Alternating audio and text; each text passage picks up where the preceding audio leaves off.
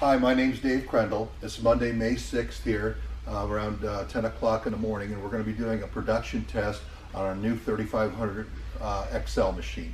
The differences and improvements on this XL machine is a much bigger hopper. It has approximately a 71 cubic foot hopper. The machine is about 29, 29 inches wide, about 107 inches total length, but it can be reduced to fit in the front of the truck by removing the panel box and mounting it on the front so we can have that within an 88 to 90 inch width going into the front of the truck.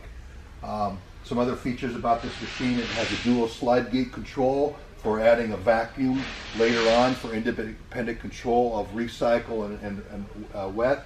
We have a large oversized airlock on here that's 12 inches diameter by 24 inches long. We're looking to get over 5,000 pounds of production. And this morning in the, the next clip that we start, we're going to show the actual production timing of this material. But to lay out the rest of the uh, details of this machine um, uh, and the test, we have about 150, we have 150 foot of hose wrapping around. It's going up to a 20 foot elevation up to the top of our factory ceiling.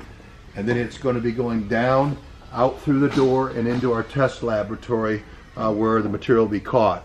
Uh, and so in the next clip when we turn this on, we'll be doing a production time test on this and uh, we'll go from there. Thank you.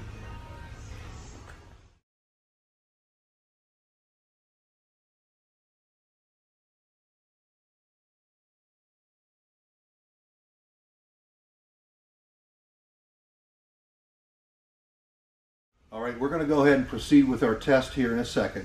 Uh, right now we have six 25 pound bags of Applegate insulation in here.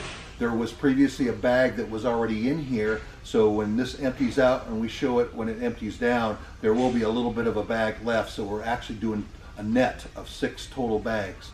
There's about a five second delay start on this machine, so when a blower turns on, after about four or five seconds, the agitator starts feeding. So that's the, the, at the uh, point that we'll start our timing interval after the delay.